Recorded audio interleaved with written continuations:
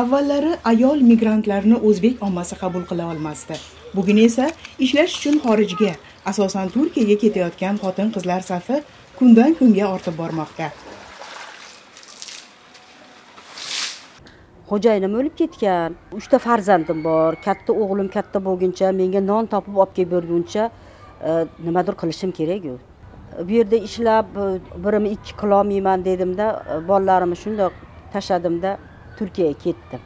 Katta o'g'limni o'qitdim ikkita qizimni turmushga chiqardim mana shu turkiyada ishlab halol mehnat bilan. Nima uchun turkiyaga asosan ayollar ishlagani boryapti? Buning sababi faqat pul topishmi? Bu haqda sharifa shunday hikoya qiladi. O'zbekistonda u yerda bu yerda novvoyxonada mehmonxonada idish yuvuvchi bo'lib har xil ishlarni qilib yurdimda xullas mayda juda ishlarni qildim. Lekin juda qiynaldim. Topgan pulim yeb ichishdan har xil nimalardan oshmasdida xullas to'plolmasdim pulimni uy olishim kerak uyga sig'indi bo'lib qoldim. Ikkita o'g'il ukam bo'lsa o'g'il ukam oldida kelinlar bor. Xullas uyga ham sig'may qoldimda orada dadam o'tib ketdi. Nima qilishimni bilmay oxiri majburlikdan bolamni onamga tashladim turkiyaga chiqib ketdim. Turkiyaga ketayotgan ayollar bolalarini o'zi bilan olib ketolmaydi. Ota onasi yaqin qarindoshlari va hatto lozim bo'lsa begonalarga ham tashlab ketishga majbur. Shuning uchun ham ko'pchilik ayol migrantlar haqida yaxshi fikrda emas. Ularning nazarida ayollar turkiyaga faqat yaxshi hayot uchungina boradilar. Ba'zilar aytadi turkiyada yaxshi mazza qilib yashaysan kelishgan barvasta yigitlar bor.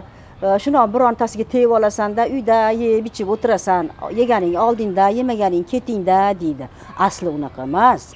Halol ishlaydigan oilam bolam chaqam deb yashaydigan ayollar juda ko'p. O'sha topgan pulini o'zi yemasa yemaydiki kiymasa kiymaydiki to'plagan pullarini oilasiga bola chaqasiga jo'natadigan ayollar bor. Biror marta turkiya shahrini aylanib muzeylarga bormagan ayollar bor. Chunki vaqtni qizg'anishadi. Lekin boshqalar noto'g'ri tushunadi. Aslida hech kimga oson emas boshida menga aytishdi ey turkiyaga borma turkiyaga borgan ayollar yaxshi ayollar bo'lmaydi u edi bu edi deb rosa yo'ldan qaytarishmoqchi bo'ldi. Lekin men hech narsaga qaramadim. Qariyalarni uyda boquvchi bo'ladiyu qariyalarga qaraydigan shunaqa ishda ishlab yurdim. Xudoga shukur yomon bo'lmadim turkiyada ishlab. Ba'zilar aytganday yomon yo'lga yurmadim. To'g'ri halol ishlab halol yurib halol turib uy oldim.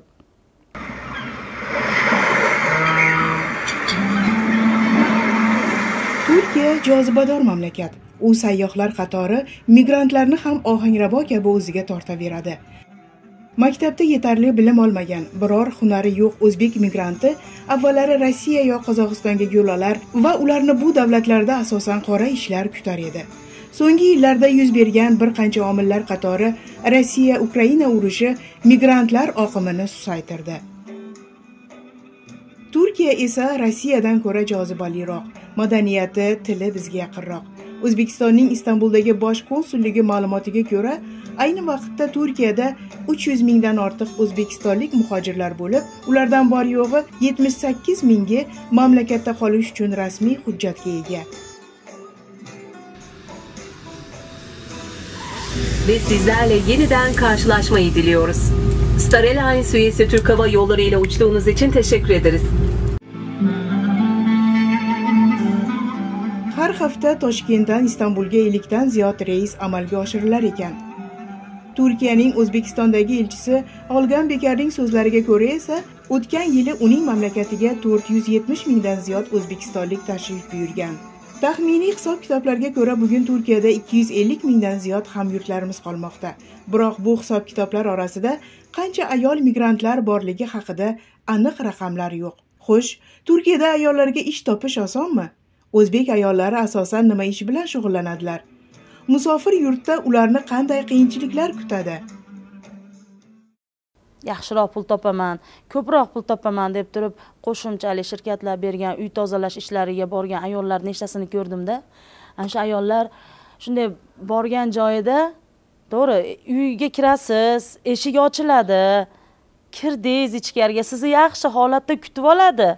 Lekin ichkaridagi holatni u ayolga nima bo'lganini hech kim bilmaydi tashqarida. Qari kampirni uyda boquvchi bo'lib qarayman endi u qari kampirni injiqliklarini ko'tarishni o'zi bo'lmaydi. Har bitta nimasini o'z men o'zim уже qarib qoldim. Menga bir qaraydigan odam kerak o'zi aslida. Lekin mana shu bola chaqam uchun oilam uchun harakat qilib kerak bo'lsa hamma yog'ini qilishing kerak. Turkiyaga qaytib keldim dedimu qaytganimda sakkiz oycha ishladim xolos. Sakkiz oyni ichida bilsangiz shunaqa pochkam og'rib qoldi. Buyragim og'rib chidolmasdan o'zbekistonga qaytishga majbur bo'ldim. Qaytdim o'zbekistonga. Qaytayotganimda aeroportga menga deport urib qo'ysa bo'ladimi? Oldingidaqa emas turkiya. Har qadamda hujjat so'raydi. Hattoki yashash ruxsatnomasini bermayapti. Shunaqangi qiyin.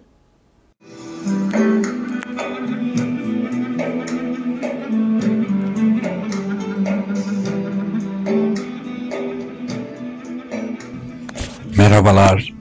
Ee, ben bir konuda bahsetmek istiyorum. Men nafaqadaman, Anqarada yashayman. O'zbekistondan kelib, bu yerda ishlayotgan ayollarga yordam beraman.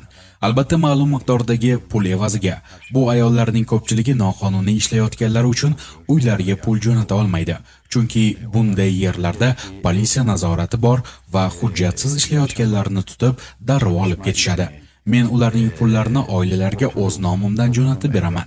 Hujjat ishlari va muammolari bo'lsa, ularni hal qilaman. Bu ayollarni migratsiya markazi yoki boshqa idoralarga olib borib kelaman. Turkiyaga kelayotgan ayollarning ma'lum bir qismi turmushga chiqish uchun, ammo aksariyati ishlash uchun keladi. Lekin ish va yashashga joy topolmay duch kelgan yerlarda qolishadi. Rahmingiz keladi. Shirkatlarda ham qolishadi. O'zbek ayollarining barchasini bir xil deb bo'lmaydi. Masalan, mashhura muxlisa dilorom lutfiya degan ayollar mening doimiy mushtariylarim aslida turkiyaga ishlash uchun kelgan ayollar juda ko'p.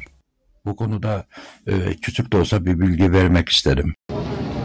o'zbekiston hukumati va turkiya davlati o'rtasidagi do'stona munosabatlar mehnat muhojirlari ahvolini yengillatishga yordam berishi mumkinmi? Kelgusida mamlakatimiz muhojirlik masalasini tartibga sola oladimi turkiya o'zbekistonliklar uchun har taraflama qulay va so'nggi yillarda bu davlatga ishlash uchun kelayotganlar soni ortmoqda. Aslini olib qaraganda turkiya salmoqdor sohalarda xorijdan keladigan ishchi kuchiga ehtiyoj sezmaydi. Ammo chetdan kelgan migrantlar uy joy kommunal qurilish jamoat transporti va umumiy ovqatlanish xizmatlari kabi sohalarda mehnat qilishadi. Ular soni bundan keyin ham ortib boraveradi. Bundan tashqari xorijlik muhojirlar yerlik aholiga nisbatan arzon ishchi kuchi bo'lgani uchun ham e'tiborni tortishi mumkin. Mehnat muhojirligi masalasi O'zbekiston uchun demografik jihatdan olib qaraganda e'tibor qaratilishi muhim bo'lgan mavzu. Chunki mamlakat aholisi allaqachon 37 million kishidan oshib ketdi. Albatta yangi ish o'rinlari yaratilyapti, ammo yetarli emas. Bu vaziyatda mehnat muhojirligi qutqaruvchi imkoniyatdir. Hozirda O'zbekiston hukumatı Turkiya davlati bilan boshqa barcha sohalar qatori migratsiya sohasida ham samarali hamkorlik o'rnatish borasida ish olib bormoqda. odina opa buloqboshi tumani shirmonbuloq qishlog'ida yashaydi. U uzoq yillar maktabda ingliz tilidan dars bergan. Hozir nafaqada. Bo'sh vaqtlarida mahallaning ko'rpa to'shagini qaviydi. Odina opa issiq uyini tashlab xorijda ishlaydigan ayollarga achinadi. Ularga chin dildan yordam berishni istaydi. Turkiyadan deport bo'lib kelgan sharifa esa odina opaning hunarini o'rganmoqchi. Ayb emas halol mehnat qilsa agar. Halol pok yo'l ishlayotganlarim ham bor menga qolsa ayb sanamayman insonni o'ziga bog'liqda. Mana shu yerda bo'lsa ham halol pok qilmasligi mumkin. Shu yerda yursa ham to'g'rimi? Ming chet elga ketsa ham toza bo'lsa yaxshi yuraveradi. O'ziga gard yuqtirmasa oilasiga qishlog'iga sha'niga nomini osib ish qilmasa ishlayversin meni fikrim shu. Aytaman men ham kelinlarga ishlanglar boringlar tilni bilasizlar yo'lni bilasizlar deyman. Men ijobiy fikrdaman. Faqat haligi gap o'zini o'zi saqlab sha'nini saqlab oilasini. Yurtini avlodini sha'ni saqlasa bo'ldi. Turkiya buyuk mardikor bozori. Va iqtisodiy jihatdan qiynalgan chorasiz qolgan o'zbekistonlik ayollar hech narsaga qaramay yillab xizmatkorlik qilib uch to'rt so'm topib qaytyaptilar. Ammo turkiyaga ketayotgan ayollarimizning to'qson foizi kasb hunarsiz ekani kishini tashvishga soladi. Mamlakatimizdagi har bir ayolga kasb hunar o'rgatib ularning turkiyada o'z kasbi bilan pul topishlari va shu tariqa har ikki mamlakatga foydasi tegadigan ishchi bo'lishiga imkon yaratsak foydadan xoli bo'lmasdi.